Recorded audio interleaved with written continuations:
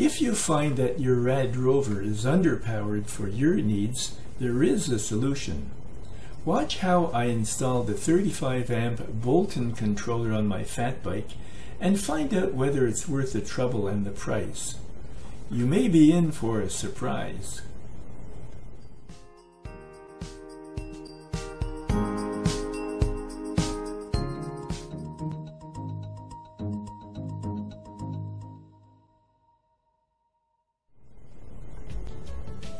I'm starting by showing how I install my controller, how to avoid the mistake that I made, and the order in which to carry out the installation.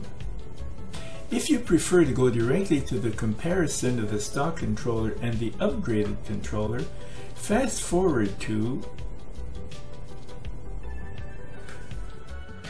This shows the new controller, the display, and the display mounting bracket.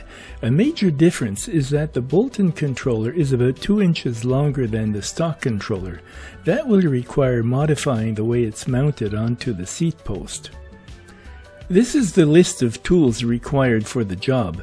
Don't bother writing this down. You'll find the list in the video description along with the instructions. Next, I'll begin by showing you excerpts from an instruction video on the RAD website for replacing a RAD controller for another RAD controller, and I'll comment on the video where the instructions differ for the Bolton controller. Our bikes. Get the bike ready for maintenance. Turn off the bike, remove the battery, and press and hold mode to discharge remaining power. Then, unless you have a strong bicycle stand that can raise the bottom of the bike up to eye level, I would flip the bicycle upside down to work on it. Remove the three battery tray mounting bolts using a 4mm Allen wrench.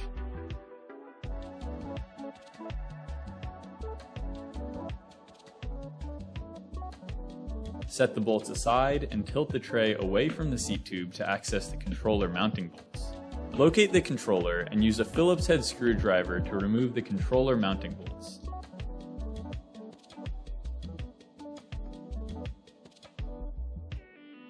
The two bottom screws were very tight because they were installed with Loctite and there wasn't enough room for a normal screwdriver, so I had to use a right angle screwdriver. Here we see the bike right side up. Set the four bolts and two mounting brackets aside. Unplug the wiring harness connector from the controller. To access the wiring harness connector, which is located inside of the down tube, snip the zip ties securing the cables at the bottom of the down tube. Turn the handlebar to the rider's right side. This is very important. Do this with the bicycle upside down. It's going to allow you to push more of the wiring harness, which connects to the display, inside the frame. This gives the cable more slack inside the frame, which makes it easier to pull more of the cable out of the bottom hole, and that makes it easier to unplug the connection. Then gently feed the wiring harness into the top of the down tube to create cable slack. At the bottom of the down tube, use a flathead screwdriver, preferably dull, and gentle pinching movements to carefully unseat the rubber grommet. Be careful not to damage the grommet or nearby cables. Using caution to avoid unplugging the wiring harness connector while it's still in the frame, gently pull the connector out of the opening while feeding more cable into the top of the down tube.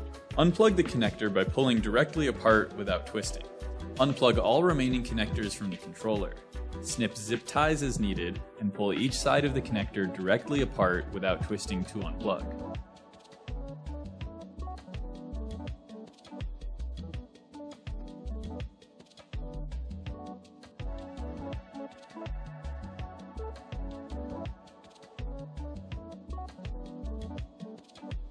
Remove the old controller and recycle it according to local rules. Locate the new controller and orient it so the mounting holes face the front of the bike and the single cable points upwards. With the Bolton controller, the taillight cable comes out of the bottom with the other cables. That's a better solution because there's less chance of water seeping in that Place way. the new controller on the frame as shown. Pass the cables coming out of the bottom of the controller down through the opening between the frame tubing. To secure the controller to the bike, pass Here the instructions show how to secure the controller back onto the seat tube, but I found that it's better to make all the connections beforehand because it allows more slack in the cables makes it easier to make your connections. Secure the controller to the bike, pass a mounting bracket through the top mounting hole on the frame, and thread in the bolts by hand. Repeat with the other bracket, tightening part way. Since the Bolton controller is longer than the stock controller, I had to install it with one bracket and a pair of bolts at the top end, and near the bottom end I tied it tight to the seat post with a tie wrap. Then I applied a bead of silicone seal about 6 inches long on each side. To plug in the wiring harness connector, pass the connector end through the grommet then line up the internal notch and pins and external arrows and press directly together to connect. This is where I really screwed up. Because the lighting wasn't optimal, and neither is my eyesight, I didn't have the connectors properly aligned, and some of the pins got bent. Uh, I wasn't successful at straightening them out, so I called Rad and I got connected immediately with a guy who understood what I wanted as soon as I called. Uh, so I told him the truth that I had bent some of the pins while repositioning the connections. And he didn't ask me why I had taken the connection apart, and I didn't take the trouble to explain either. He kindly offered to send me a new harness on warranty, which was really unexpected and really nice. But because of the transportation uh, problems that we're having these days, it took two weeks to receive the part, which deprived me of the bike for a couple of weeks. So my advice is to make sure that you have excellent lighting, that the bike is placed at a comfortable height for you, and that the two ends are perfectly aligned before pressing them together. And if you have bad eyesight, ask for help. It's called a wiring harness because at the top end it splits into five separate cables that feed the display, the switch, the brake cutoffs, and the headlight.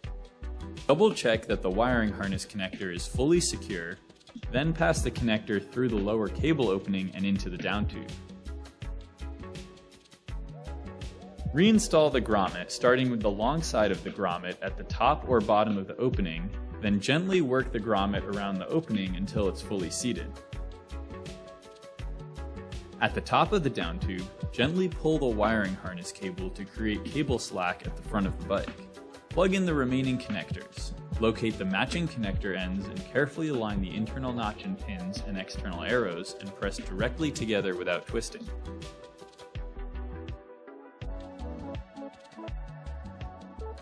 Replace any snip zip ties and trim them to be flush and smooth.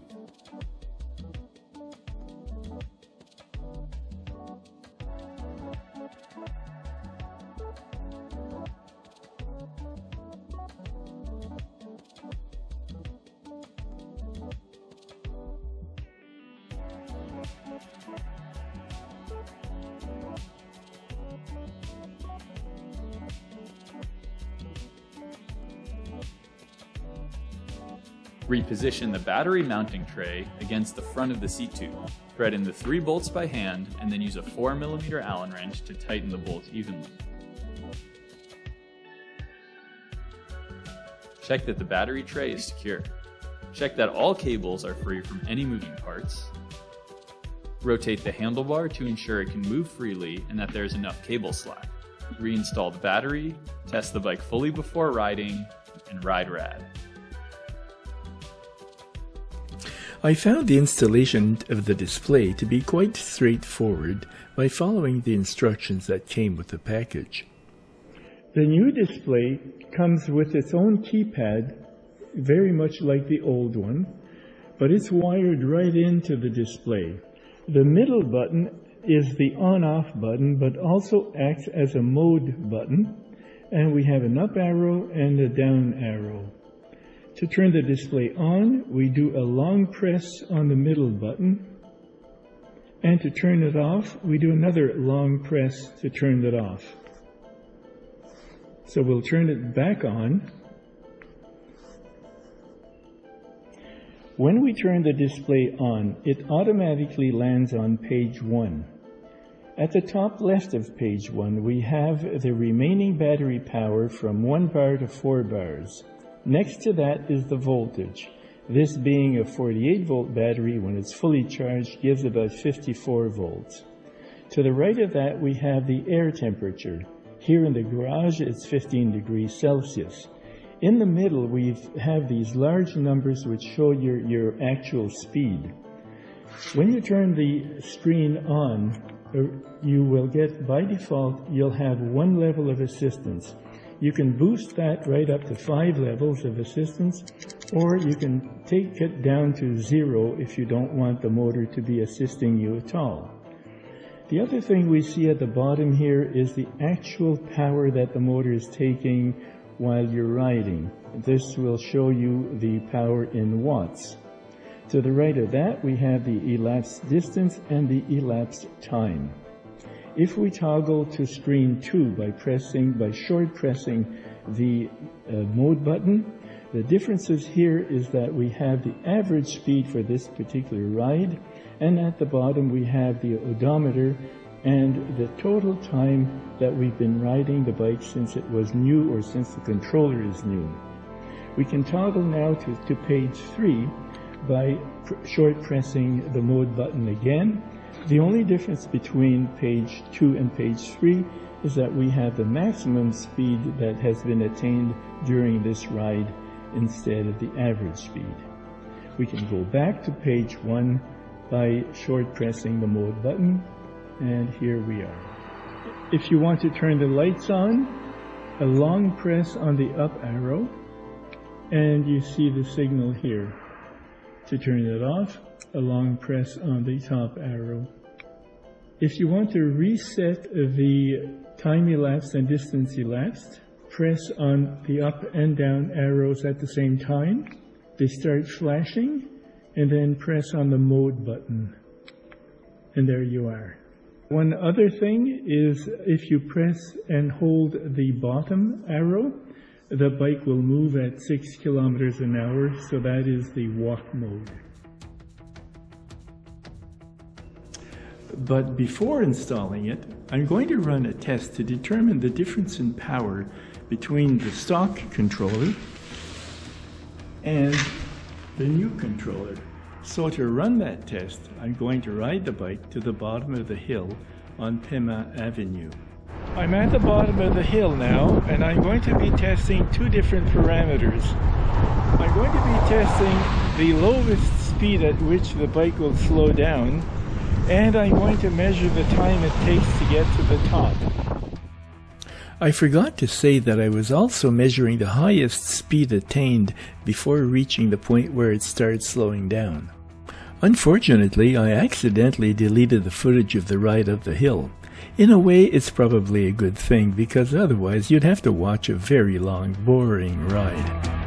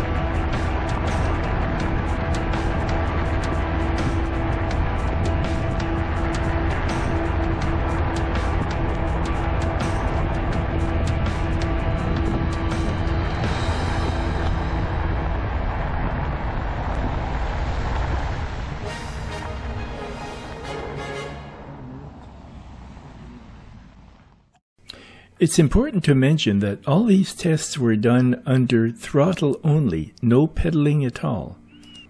This table summarizes the results of the two controllers.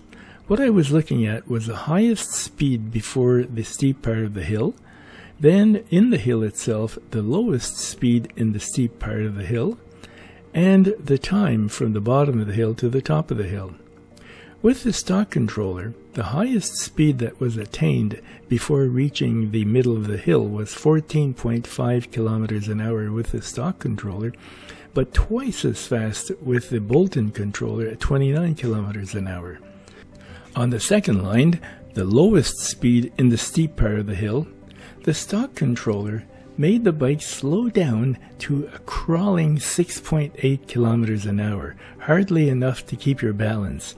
However, with the Bolton controller, it was a staggering 19.6 kilometers an hour.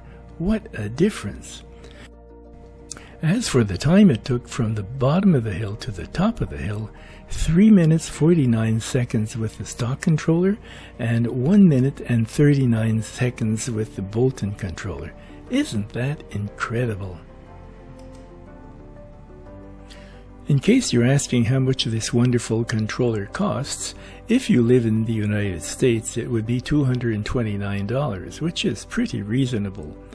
But if you live in Canada, you have to pay it in US dollars and you also have to add shipping, which comes to $251.75. But you also have to add the currency exchange, which comes to $329.26. But you also have to add all the taxes that we have to pay in Canada, which comes to $53.64. And so the grand total is $382.90.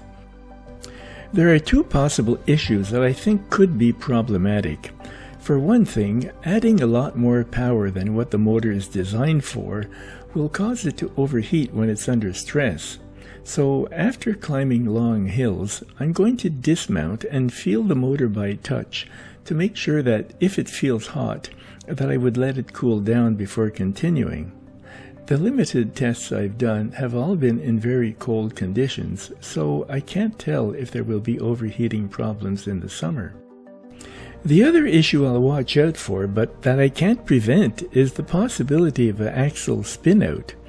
I heard that this can happen when the torque of a motor is so powerful that the axle turns in the dropout.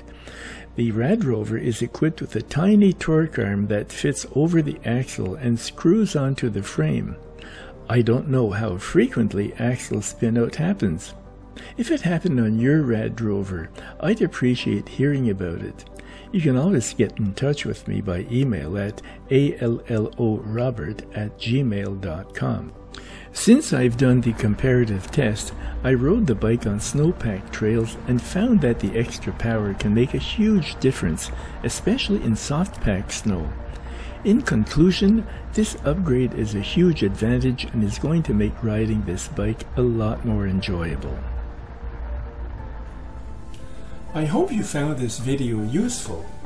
If you'd like more information on e-bikes, bicycle campers, or bicycle travel with a camper, and if you haven't already done so, subscribe to my channel or go to my website www.robertberiault.com.